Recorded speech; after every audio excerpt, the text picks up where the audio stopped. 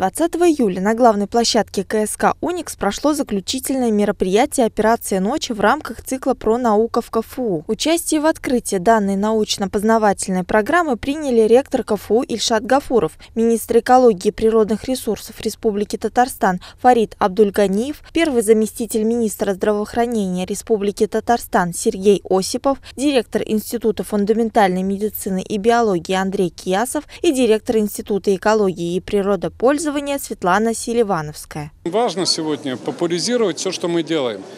Рассказывать простыми, доступными для неспециалистов словами, почему случаются катастрофы, почему так резко меняется погода, как человек влияет на те или иные э, процессы, почему э, очень критичны сегодня вопросы, связанные с изменениями погоды, с всемирным потеплением.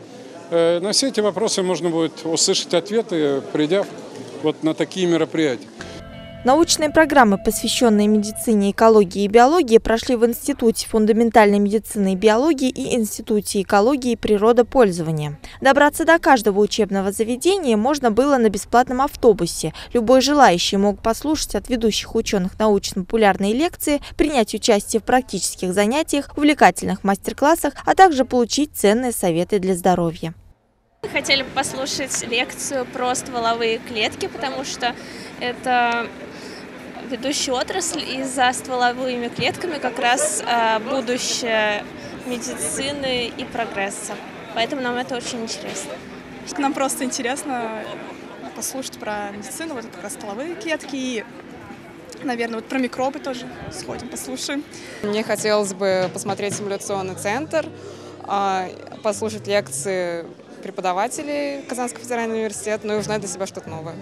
На научном мероприятии гости смогли узнать все о микробах, стволовых клетках, загадках генома человека, биотехнологиях для защиты окружающей среды, а также узнать, какие существуют вызовы и угрозы климата Земли. Такие мероприятия – это неотъемлемая часть высокого уровня университета, который действует на международной арене. Собственно, это традиция ведущих университетов мира – проводить Ночь науки. Это очень важно для университета, что не только студенты, но и жители города могут познакомиться, чем занимается университет.